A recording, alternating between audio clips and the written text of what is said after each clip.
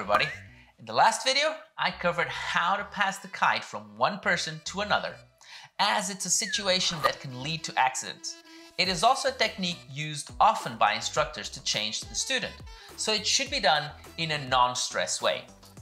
If you missed this video, click on the upper corner to check it out. In today's video, I'll focus on land teaching as I often see people getting airborne, and the possibility of getting hurt is high when you fall on land. With this technique, you will make sure the kite is never going to pass the power zone, but still allow for the student to get full control of the kite. If you like these videos, please hit the like button and subscribe to our channel. It's super important to me. Also, it would be great to get some feedback on other topics that you would like to discuss. So use the comment section and let me know your thoughts. These techniques are taught in depth in the IKO instructor course. So if you're interested in becoming an instructor, check our instructor video and dates by clicking the video linked above. On this video, I'll show you a special instructor technique, fifth line instructor safety line. This is only to be used by instructors in order to make your land lesson safer. This doesn't work in water, neither it is needed. This is only if you are teaching on land and you want your student to discover the wind window and the depower with safety while he has the control of the kite. It is also a useful technique if your beach is not that big and you want to control the kite by making sure it stays on one side of the wind window. For this technique to work the best, short lines should be used. Besides the obvious advantages of added safety and strong winds, this technique is also very effective in light wind condition if the instructor is skillful and can use it to correct the angle of the kite. As mentioned, you should be using short lines.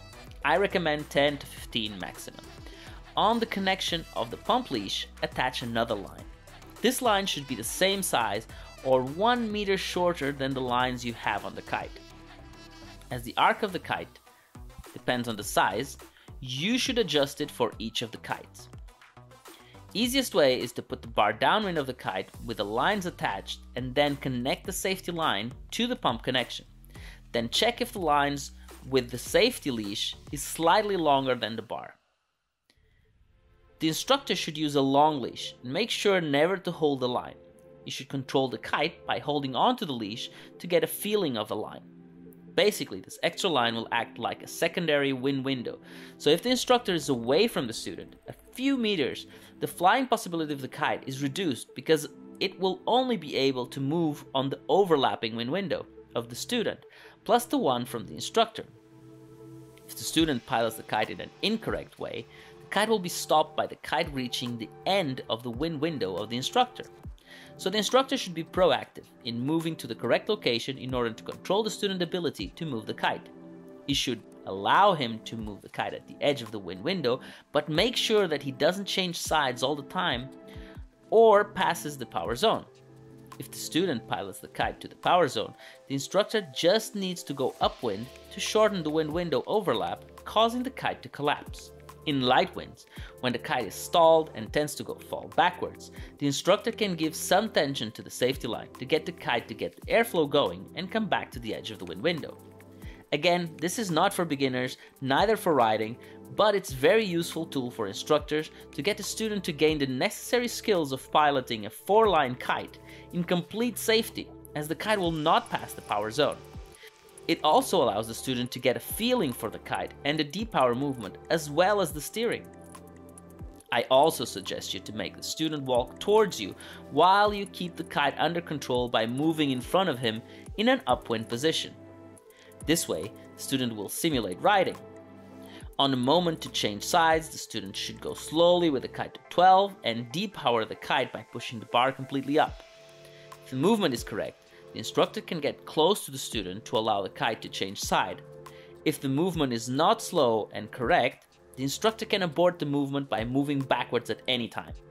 If it is correct, the instructor can go close to the student and then move away again.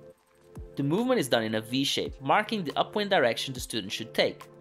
In case the instructor needs to stop the kite, he just needs to move quickly upwind.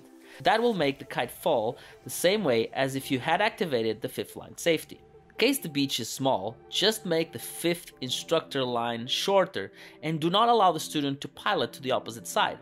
If you are teaching alone, and you don't have an assistant, you ask the student not to pilot the kite while you put the kite on the edge of the wind window. When you are back next to him, he can then launch the kite with you controlling the wind window size so he can't pilot to the power zone. I hope this technique is beneficial to improve your teaching, making it safer and the evolution of your student faster.